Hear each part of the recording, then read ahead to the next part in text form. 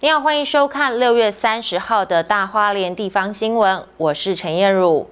台泥三十号在花莲的和平水泥厂举行打卡二周年暨再生资源利用中心的上梁仪式。为打造世界级的打卡再生资源利用中心，设备使用日本川崎重工最先进的设计，并投入超过四十亿经费。预定二零二三年底完工后，每天最高可以处理两百吨的垃圾，解决花莲垃圾堆积如山的问题。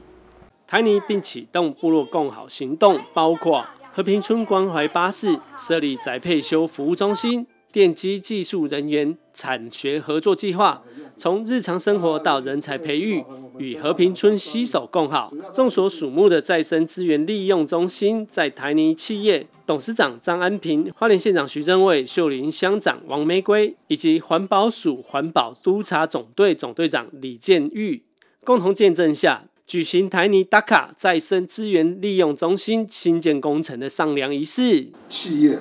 跟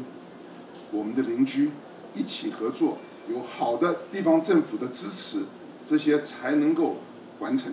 因为其中缺任何一样都做不出来的。企业只要有心，地方一起邻居做该做的事情，再加上政府的效率，就可以执行。来跟各位报告一下。我们这个 RRC 是设计得到世界上的金牌奖，所以说我们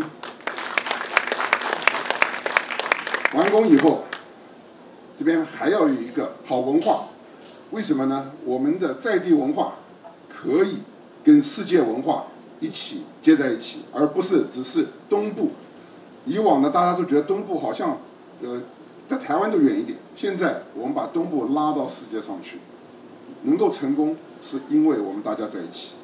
预计在二零二三年底完工的达卡再生资源利用中心，能够解决长久以来花莲垃圾无处可去的问题。每日最高可以处理两百吨垃圾，解决花莲堆积如山的垃圾问题。曾卫在这里，我要说明的是，曾卫的看到，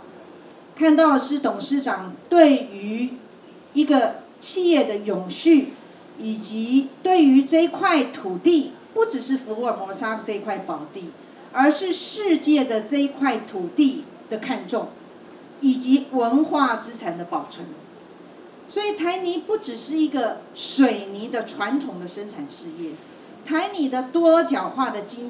经营，透过张安平董事长的远见擘画。所以为什么刚才曾卫的开场是台泥不只是台泥？台泥是为中华民国政府扬名国际，在打世界杯，